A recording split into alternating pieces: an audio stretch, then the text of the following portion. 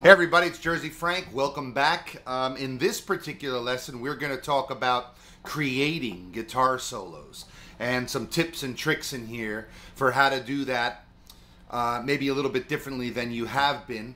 And uh, let me first of all explain this glove. People have been asking me, what's with the glove? Well, I sweat a lot and the sweat is very acidic and it will wreck my strings literally in a gig or two. And I play out weekly and uh, I was wrecking strings for years and having to pay, you know, 10 bucks a set, uh, replacing them constantly. And with this glove, I can go a couple of months without changing the strings because sooner or later the you know they'll oxidize and just in the air and the humidity here in Florida. But they last a lot longer. So that's the deal with the glove. You can get them on eBay. They're called the guitar glove. Now I'm doing a plug for these guys. Um, and they're relatively inexpensive and they're thin. You can see they begin to fray uh, sooner or later, and you know they'll last. This might last me a month, and you can buy them in packs of three or whatever. Anyway, unintentional plug for the company, but good for them. I want to talk. Uh, if you haven't watched the first two videos, I recommend that you do that, and that way you can catch up. Um, and then this will make a lot more sense to you as we go on. We've been talking a lot about the major scale. Today, I want to talk about another scale called the pentatonic scale Penta just means five. It's a Greek term, means five. Tonic is the root or first note of a scale. So it's a five note scale and extremely popular in all genres of Western music and, and world music as well. Um, if you're a guitar player, you basically can't do without this scale. Uh, it's almost exclusively used in rock and blues, even country. Um, and I want to talk about how this scale is built and uh, how to use it today. We're going to add it to our major scale. So now we'll have those two scales in the bag. And with those two scales in the bag, there's almost nothing you can't do in terms of soloing. It just depends on how creative you, you're able to get with it. The we're going to talk about specifically the minor pentatonic scale today. And if you remember back to our first lesson, minor simply means you're taking the major scale and you're lowering the third note the third step of that major scale down a half step. So if we're in the key of A, we're playing the A major scale, we get to the third degree is C sharp. C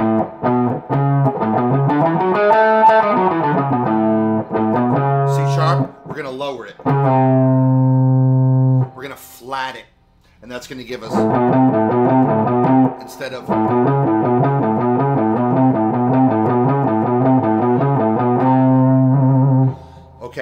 So if we're in the key of A and we're looking at the A major scale, back home to A, we take the sixth degree, sixth degree of any major scale, and we use that as the root note of our minor pentatonic scale. Okay? So it doesn't matter what key you're in. If you're in F, count up six in the, the sixth note of the major scale. Count up to that note. One, two, three, four, five, six. That's D in the key of F. And we will play our minor pentatonic scale from the D note. If we're in the key of A, count up to the sixth note, sixth degree. One, two, three, four, five, six. That gives us F sharp. We would play our minor pentatonic scale from the F sharp. Now, that means that whatever key we're in, if we're in the key of A, we can use that minor pentatonic scale starting from its sixth degree over any chord progression in the A, in an, any A major chord progression. So if we're playing a typical one four five, meaning one chord of the A major key, four chord, five chord, back to one. That's been used a billion times in rock music. One chord, four chord, five chord, one chord. Okay, that's a you know, and you can play that pattern in a million different ways. It doesn't have to be that kind of rockabilly sound. Um, you would be shocked how many of your favorite popular tunes even modern tunes are using that uh, progression. Even if they're not playing straight chords, they may be playing riffs or melodies built around those four chords. Uh, so the singer can sing over the top of it, right? You may even go back to like Elvis. Well, that's alright, Mama. That's alright for you. That's alright, Mama.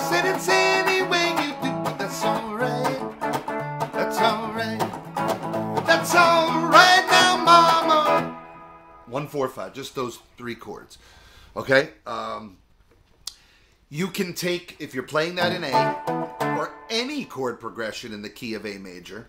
You can take that minor pentatonic scale built off its sixth degree and use that to solo over that progression. Now, there are a lot of players that do that exclusively.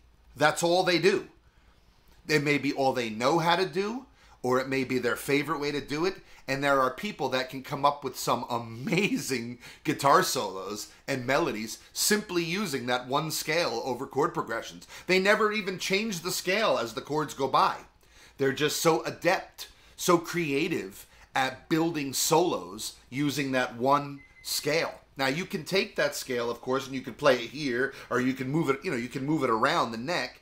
You can play it like we looked at in lesson two in the second video. We talked about taking the major scale and playing the same seven notes, but starting it from the different degrees of the scale. So you play A major scale from A to A. You'd play it from B to B. You'd play it from C sharp to C sharp, and you that gives you seven different ways to play that one major scale. You can do the same thing with the five note pentatonic scale. You can play it, let's say we're using the A. I'm going to show you how to play the pentatonic scale in a minute. You probably already know it. But we can take that same five note pentatonic scale and we can play it from its first degree to its octave from A to A. One, two, three, four, five. Back home to A. We can also play it from its second degree, right? Which is C, up to C again.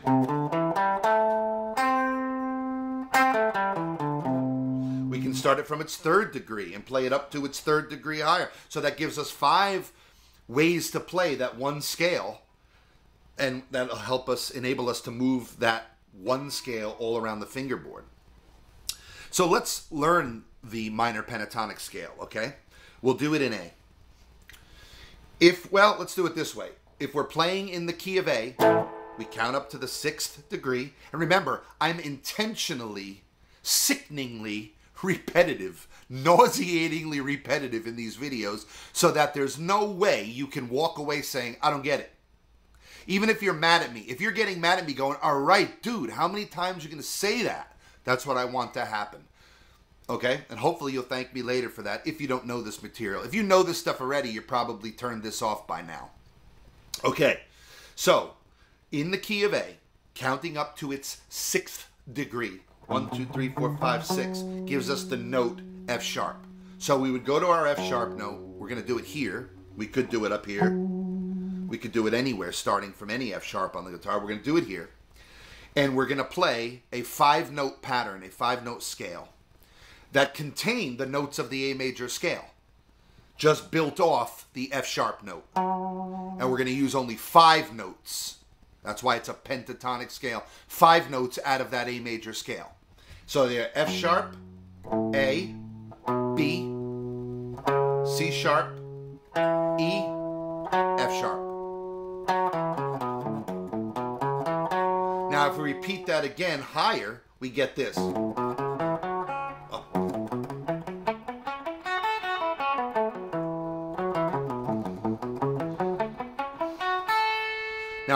To the A here. Technically, we would stop at this F sharp to make it a two octave, you know, from F sharp to F sharp.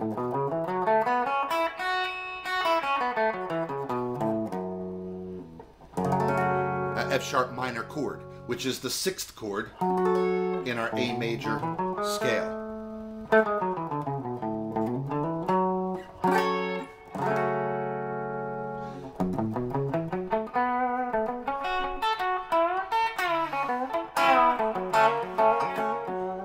See already where that bluesy feel is coming in. uh, based off of this scale, right? This is all the.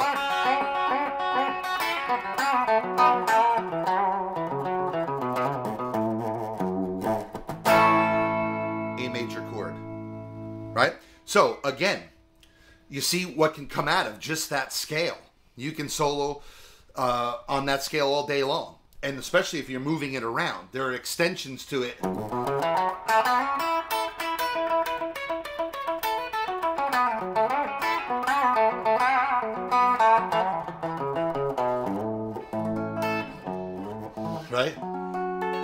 So again, being repetitive.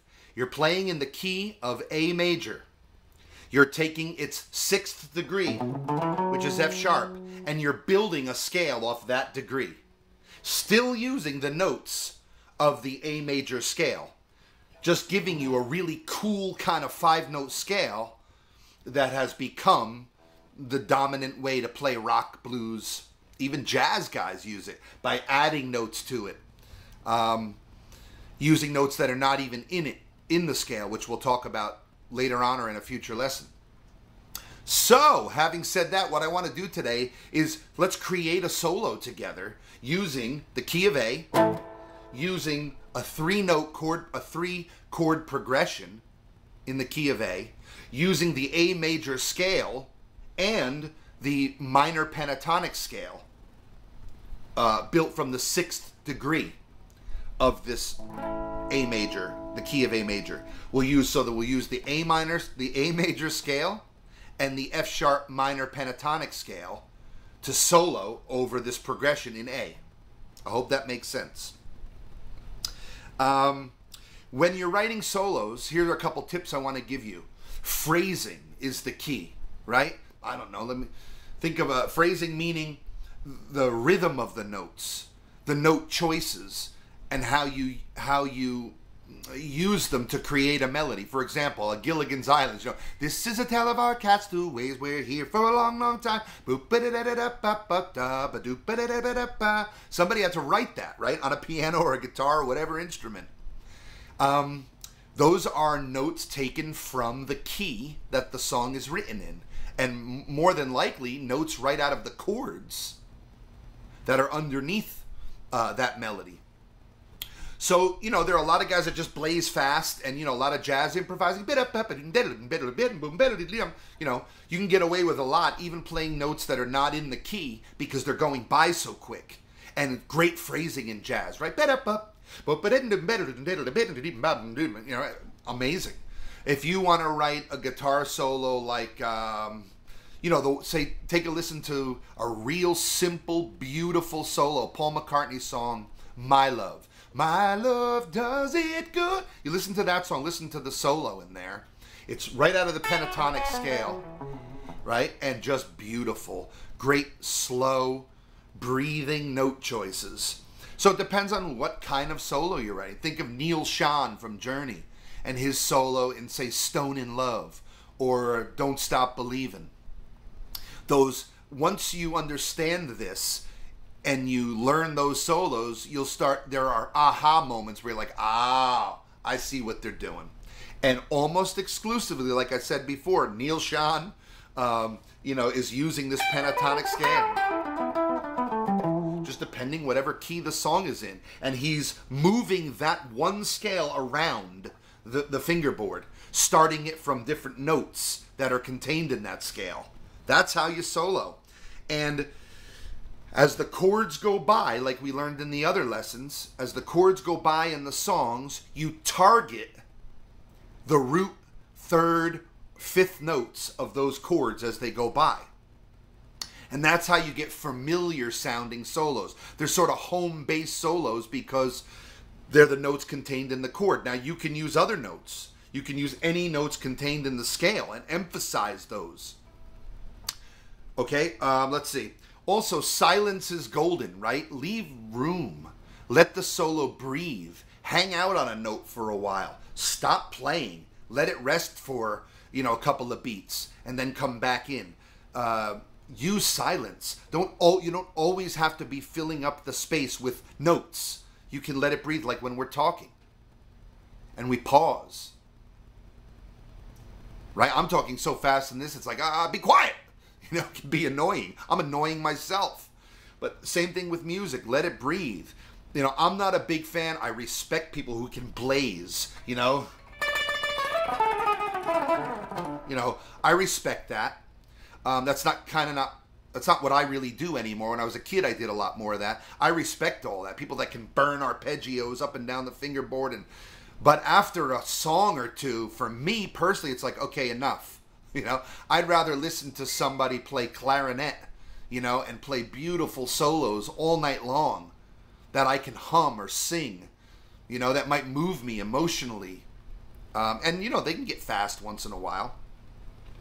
Um, and then when they do get fast, it's more impressive. It's like, ooh, what was that? Uh, and for me, the number one rule in writing solos, I have a I have an album out uh, by a band called we call ourselves Now Playing. We put out it's like a progressive rock album, kind of heavy. Um, you can find it on YouTube. You can go to the website nowplaying.rocks and check out the music there. I play the bass on the album, I play guitar on the album, and I wrote the songs.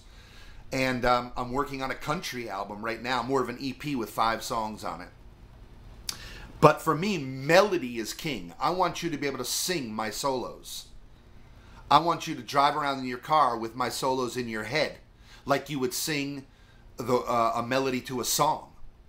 And for me, a guitar solo in a song should be a continuation of the song itself. And you should, uh, when the singer stops singing, you should be able to sing my solo. Um, that's why I love Rush so much. A huge Rush fan. Alex Lifeson's playing is singable, uh, breathtaking, man. What he does with a pentatonic scale, and again, Alex uses mostly these this five note scale. In every Rush song ever created, he's by and large playing around that scale and whatever the key is.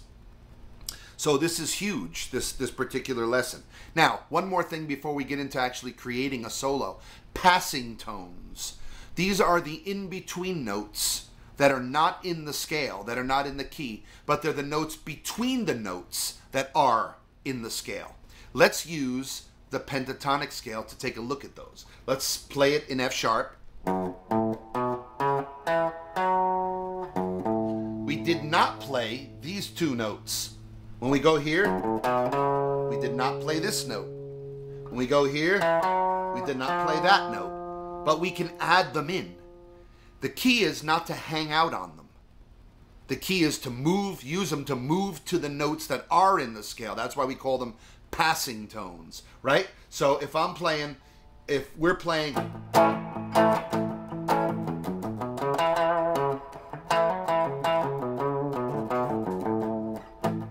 I didn't use any passing tones, but let me use some now and hear the flavor, the color of this.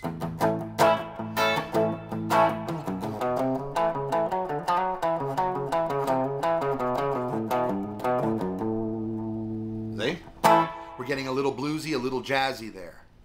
So it's the way that you phrase them, the way that you use it. Before we create the solo, here's another tip or trick that someone told me years ago, and uh, it's been an amazing, uh, an amazing tool for me in my bag.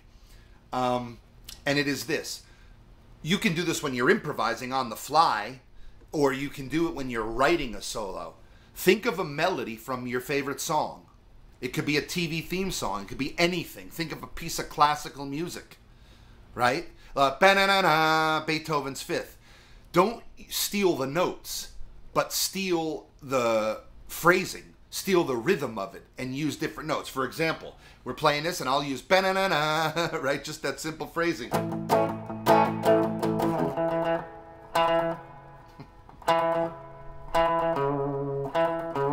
Maybe I use that to start my solo. Slow it down.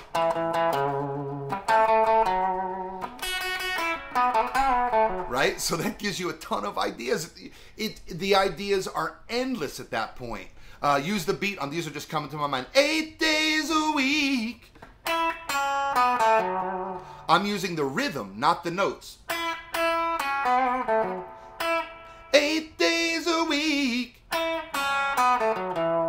Doesn't sound anything like the melody, but it gives me phrasing, right?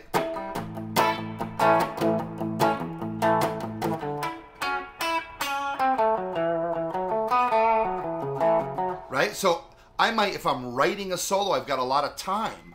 So I can think through that over and over again. Now, one more thing.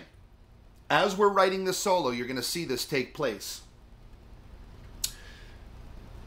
As we're approaching, we're moving from one chord to the next chord. We want to think about how to get to that next chord and what the target note is going to be as we land on that next chord. So if I'm playing in the key of A, and playing A, now I'm moving to say B minor. As I'm getting from A and I'm soloing, and I'm writing my melodies and I'm thinking through what can I play while I'm on that A chord. So once I get that lick down and I think, okay, I'm happy with that lick over the A, now we're going to B minor. I want to move that A lick into that B minor lick. I'm still playing the A major scale. I'm never changing. Do I want to just go to a B note and create a phrase off that? Do I want to go to the third of the B minor, the D note, and create a phrase off of that? Do I want to go to its fifth, right? The fifth of B, F sharp? Do I want to start on that note? Do I want to use all three of those notes in my lick? These are things to be just trying and experimenting with and thinking. Do I want to use passing tones to get, for example, if I'm going to go from the A major chord and we're moving to this B minor chord, maybe I go to the B note, but I use this B flat note, which is not in the key, to jump to the B note. So I might start it like this.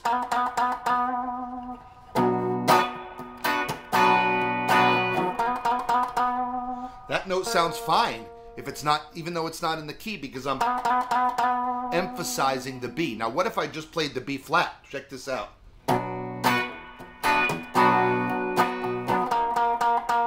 Terrible. See? So the out notes can be in if we know how to work them. All right. So I'm to, I've got a little loop pedal here and it's to play this simple progression in the key of A major. A major, right? To B minor. To E7. Home to A. I play it in six, I think, in the in, in more like a waltz feel, like a uh, six four rather than four four. But and we're just gonna mess around with possible melodies. Okay, I'm just gonna improvise here. We're gonna kind of create on the fly. So let's do that. Here we go. Much slower than what I just played. This is A.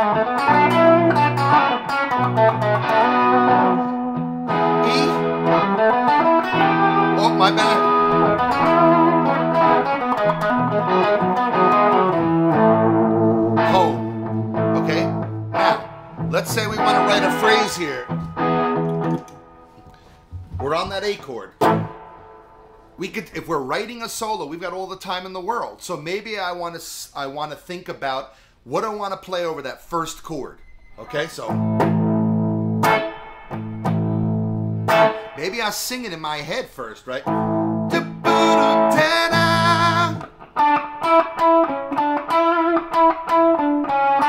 That gave me another idea. So maybe I like that right there.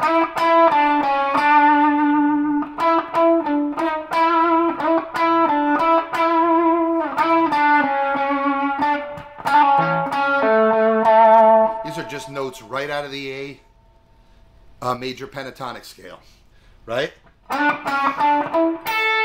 Maybe instead of going, that's an E note, maybe I'll choose a higher E. I quit. Maybe I play the octave of the E.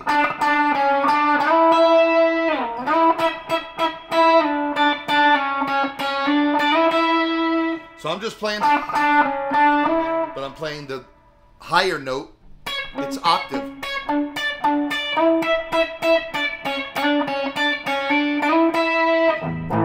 Let's hear how that sounds over the A. That's kind of cool. Now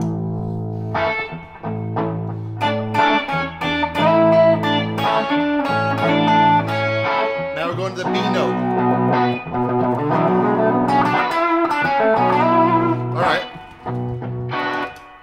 Get the point, right? We can now, if we go to the B minor chord, I don't change scales. I'm staying in this A minor, A major pentatonic scale.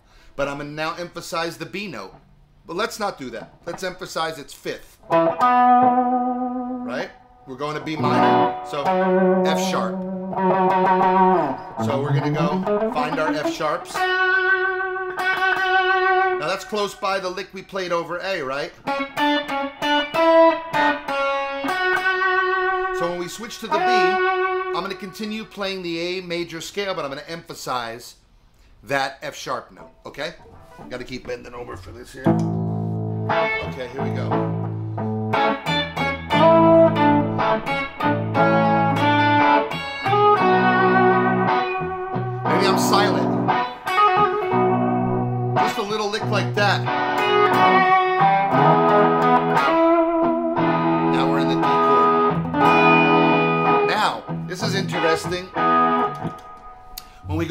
Chord, it's a D7th I chose to play, which simply means that I'm not, rather than playing a simple D major chord, I'm emphasizing the flatted seventh note in there. Well, that's for another lesson. But for now, let me just tell you that I'm playing a, uh, I'm sorry, a E7 chord. And I'm, the seventh is the D note. So I'm going to emphasize that D over that E chord. Okay? So here we go. This is the A.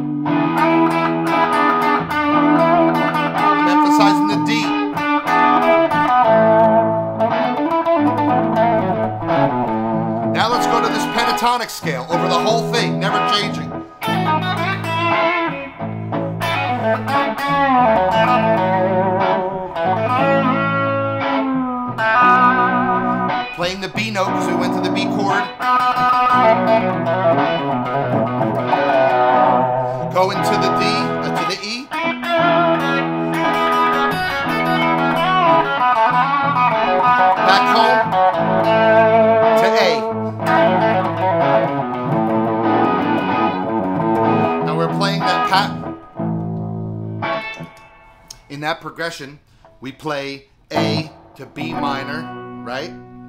To E7, back to A. When we go back to A, we turn around on the C7. And we start the progression over again. So we're building tension there on that turnaround. So we actually go A, B minor, E7, A, E7, back to A. So we're creating like a build up there. Now you see what I did? I stayed in this scale the whole time. This F sharp minor pentatonic. And as the chords went by, I emphasized the root note of those chords in the scale as they went by. And you can do the same thing. You can do the root, you can do the third, you can do the fifth, staying right in this five note scale.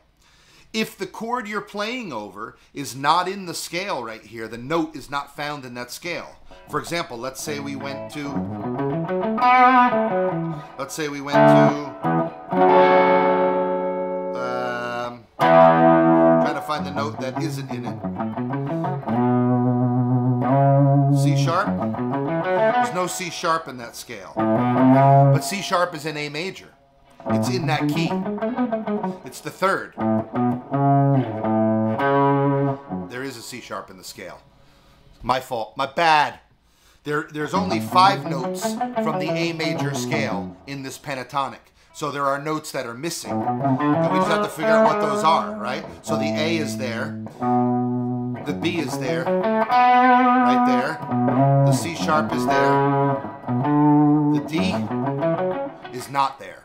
Okay, so the D is the fourth of A major.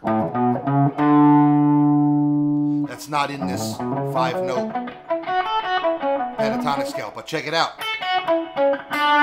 It's right there. So if the D, if we had a D chord in this progression, I would nail the D. Now I'll put that D in, watch this, even though, watch this, it's not in the progression, it'll still sound great. Because it's in the key and your ear doesn't mind it. Watch. Here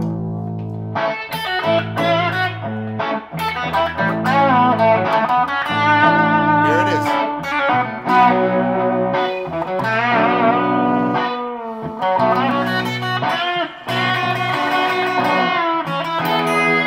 That's not in it either. That's flat.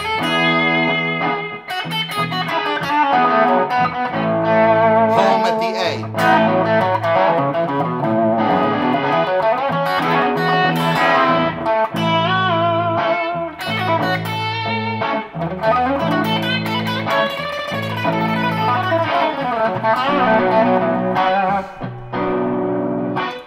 Okay, so you get the point. Let's recap here. We've got the A major scale with seven notes. We count up to the sixth degree, the sixth note of the A major scale in any key. And we build our minor pentatonic scale, our five note minor pentatonic scale, off of that note. If we're in the key of F, we count up one, two, three, four, five, six, D. We find our D note on the sixth string and we play D minor pentatonic scale over our F chord progression.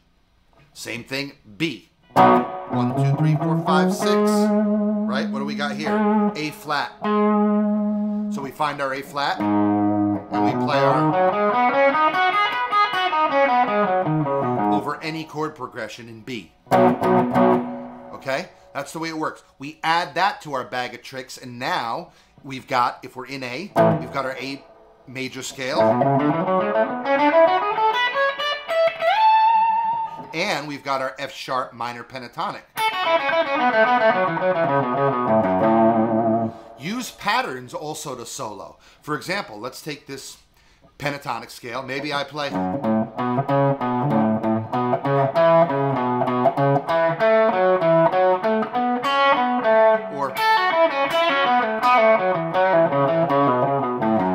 Patterns. Skip strings. Right? Leave space.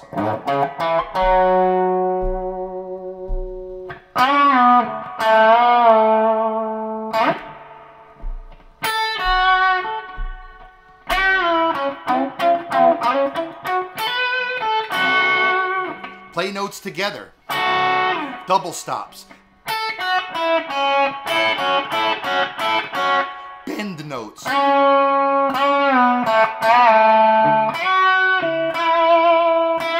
When you're bending, you're bending two note from one note to another note in the scale. Here I'm taking the E note and I'm bending it up to the F sharp. Here's the E, here's the F sharp in the scale. Right? Play these double stops. You can even bend those. You're just bending two notes instead of one. You're playing notes that are not in the scale. Okay? We'll talk about that in another lesson. I want to do just a short lesson on this minor pentatonic scale, but adding notes into it that make it sound cooler. Let me give you an example of it. So